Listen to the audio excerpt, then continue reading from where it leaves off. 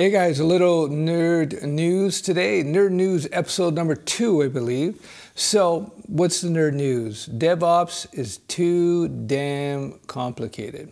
Yes, some people out there are starting to recognize that the DevOps infrastructure, if you will, the DevOps tooling that we see out there is becoming a little unwieldy, a little bit too much for some people, actually, for a lot of people. And so now we have people coming out with solutions to simplify the development operations. That's what DevOps is all about, because it's becoming uh, a time consuming part of development. One of the key things about software development is you want a quick turnaround. You want to be able to write code, deploy, test quickly, write code, deploy, test quickly. That's the whole process of development. And if you have any stages, any steps in that process that slow you down, this is not good for development. Now, don't take this as me saying that DevOps is bad. Not at all. DevOps is super important. It's uh, source control and checking code in and out. It has great utility.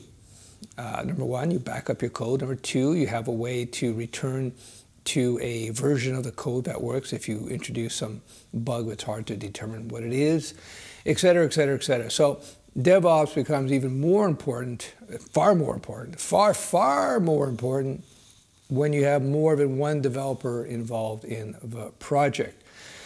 That all said and done, what I have noticed with modern DevOps, it's becoming unnecessarily difficult at times. I think a lot of people are implementing DevOps infrastructures and processes for small projects when these infrastructures or when these operations are more or less better suited for very large projects where you have many developers involved and lots of complexity in terms of your deployment environments.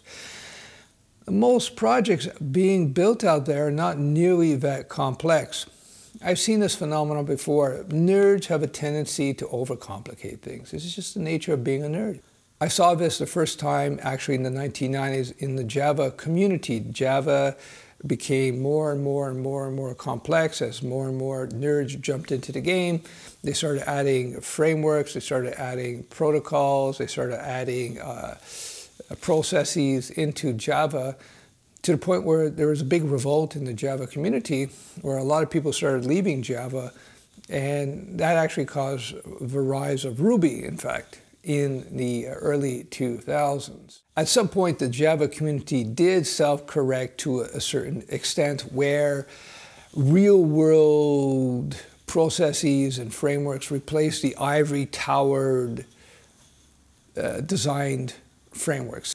I've talked about this before where EJB 1 and 2 were replaced by, uh, with EJB 3, whereas EJB, EJB 1 and 2 are, were technologies that were created in the ivory tower uh, nerd uh, enclaves and uh, basically a bunch of nerds who have uh, a lot of uh, diplomas by their name but evidently not too much street coding experience. Their specifications did not work in the real world. They tried to cover every contingency uh, possible and nobody actually used it. So street created, if you will, uh, libraries and processes, replaced those. So the official Java spec basically became what people were using in the real world. Um, we saw that actually with um, HTML5. HTML5 was designed not around ideology like XHTML. XHTML preceded HTML5. XHTML was a purity-based markup language and uh, what do I mean by that? What do I mean by that? It had a certain set of principles that nerds were really getting into, and usability of the language and flexibility were uh, pushed to the side in favor of uh, nerd purity. And that got in the way of proper development. And then the HTML5 spec came out, and it was based on reality. And of course, reality-based infrastructures and technologies always win in the end. So XHTML fell. HTML5 is now the standard. And so with DevOps, it's too early to say where exactly it's going to go, but I'm telling you that there's an unnecessary level of complexity from my point of view. Not in all projects, but in many. And uh, in some cases, it could be more difficult to learn DevOps than it is to learn how to write code, uh, which is getting kind of stupid, in my opinion. So there you go. That's the nerd news. Once again, we see a similar pattern in technology. You see uh, technology stacks becoming increasingly more complex for no good reason.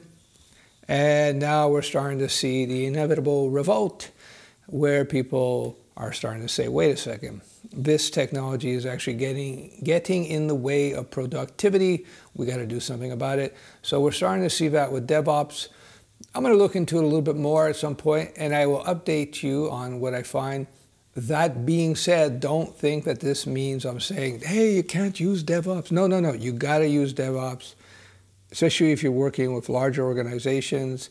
You have to do source control, yada, yada, yada, yada, yada, yada, yada. But again, this stuff becomes more important as you become a, uh, as the project becomes complex, or as you have more than one developer involved in a project. And uh, that all said and done, if it's just you, you're doing simple web apps and web design stuff, this is not really important whatsoever. All right, we shall talk soon. Bye bye. Hey guys, just one last thing. I am looking for video testimonials from people, from students of mine, whatever course you happen to have taken. If you feel that there's been value in it. Any video testimonial, you just have to take your cell phone, do you know, turn your phone on the side so it's a wide angle shot. And uh, that would be great. You can email me at Stefan, S-T-E-F-A-N, at studioweb.com. We could set up a, a cloud drive drop off or something. I'm putting together a montage of video testimonials as because, as you know, video testimonials are the best. And yes, when you're in business, you have to promote. It's always something I've been reluctant to do, but I've come to uh, to accept it and embrace it. So yes, I'm looking for video testimonials from students, people who have found value with the Studio Web courses, whether it be the WebStack courses, the Python course, freelance course, entrepreneur course, what have you. I'm also going to be releasing videos of some of my heavy hitter students, people who have reached really high levels, started successful businesses, and so on. So right after this video is the first uh, testimonial from one of my uh, one of my first Studio Web students going back several years. All right, we'll talk soon. And thanks if you do send out a video testimonial. But if you don't, I understand a lot of people are reluctant. I'm going to be creating again a montage of video testimonials. Ciao. Yeah, so my name is Roberto Cipriani. I'm co-founder and CTO at GradeSlam. We're an online education company helping make education more equitable. absolutely, Studio Web gave me the foundation in my technology career right now. Once I sort of got comfortable in uh, HTML, CSS, and PHP, I started doing some work for Stef, um, and that included building part of the Studio Web platform. Studio Web platform is great and I think that it definitely gives you everything you need to get a job or to start your career as a freelance web developer. I hope you like today's vlog. Um, I'm doing a lot more shots on the balcony because I'm going to be leaving this place after several years. Even though I like it, it's got one of the best views in the city.